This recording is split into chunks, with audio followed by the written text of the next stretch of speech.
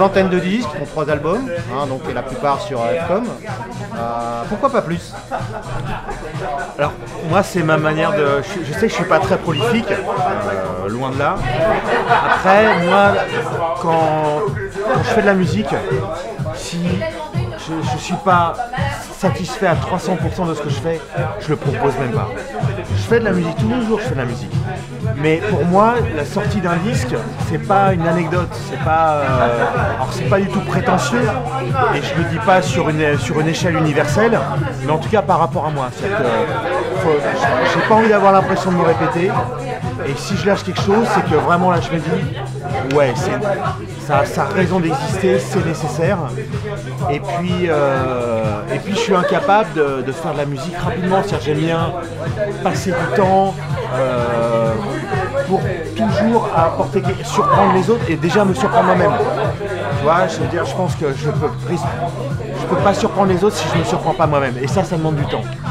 Ça demande du temps, surtout aujourd'hui où, euh, la musique élec- électronique est très formatée. Euh, quand tu vas sur les plateformes de téléchargement, tu le vois, on tombe très vite dans, dans la répétition, dans des choses. euh.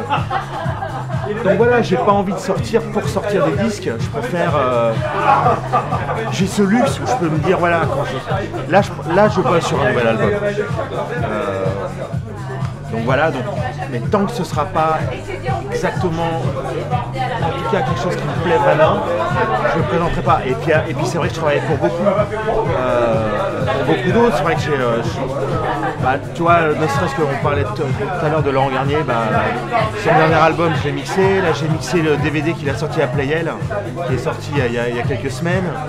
Euh, il a fait de la musique pour un spectacle pour, pour le ballet du Bolchoï, pour euh, Angelin Prège-Locage. J'ai eu 30 morceaux à mixer. Enfin, tu vois, je travaille beaucoup en studio, c'est vrai pour d'autres. Mais, euh, mais voilà, mais là, des sorties Scanix, c'est d'actualité. Je bosse dessus. là. Voilà. Mais justement, par- au niveau des collaborations diverses, bon, il y a Laurent Garnier, mais il n'y a pas que lui. Déjà, alors, à trois niveaux, on dira, il y a t'as beaucoup d'apparitions dans des compiles.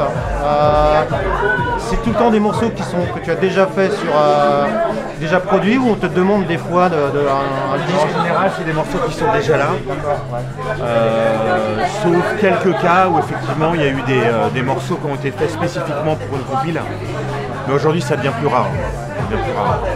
Par exemple, j'avais fait, euh, j'avais fait un morceau pour euh, Ghost in the Shell, donc le célèbre manga qui, a été sorti en jeu vidéo sur Sony PlayStation. Et là, j'avais fait un titre inédit qui était que pour ce jeu, que pour la compilation. Et en fait, euh, on fait des demandes, je suppose, pour un inédit, pour une compile, mais toi, c'est euh, en fonction de comment tu sens la chose ou pas. fait. Ouais, et puis, euh, puis ça, ça dépend, faut que le projet soit excitant, faut, tu vois. Et puis, euh, et puis la réalité du disque, elle est aussi différente aujourd'hui, quoi.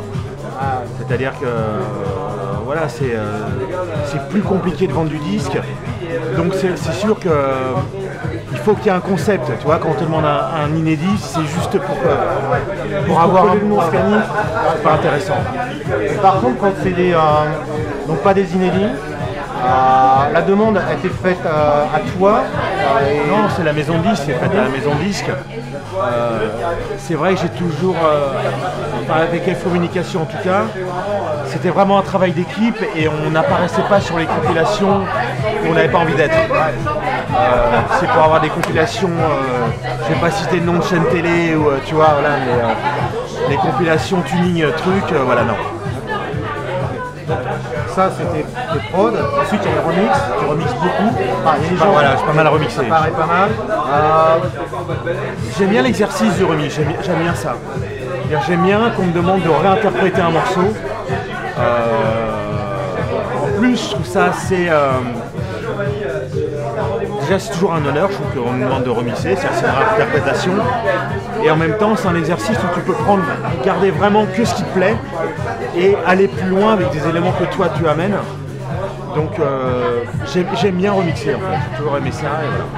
et euh, t'en as fait euh, au moins une bonne quarantaine. Ouais, je sais pas compter, mais peut-être. ouais. C'est ce qui est affiché dans ce chiffre-là, on verra.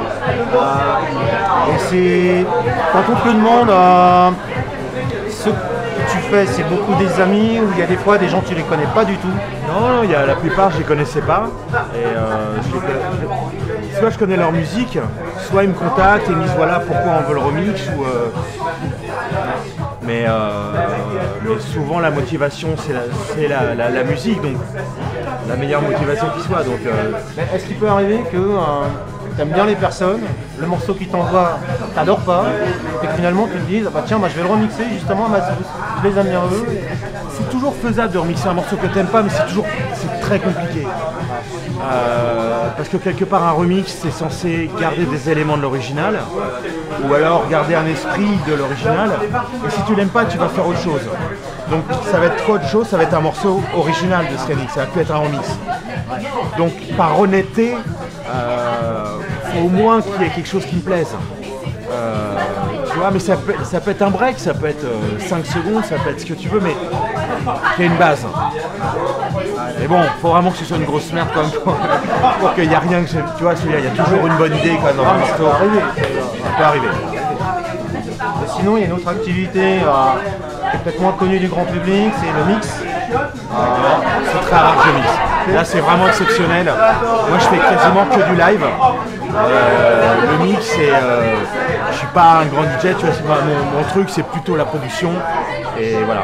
Je voulais parler plutôt au niveau de la production, mais quand tu, quand tu mixes les morceaux des pardon. autres. Ah, euh, excuse-moi, je croyais que tu parlais mixer Non, un peu D'accord. DJ set tout à l'heure, DJ mix. Ouais, donc tu, tu mixes en fait pas mal les morceaux des autres euh, des- dans les collaborations. Ouais, bah, en fait j'ai une formation d'ingé- d'ingénieur du son, donc euh, qui, m'a beaucoup aidé et qui m'aide toujours, même si euh, beaucoup je l'ai appris euh, de manière autodidacte.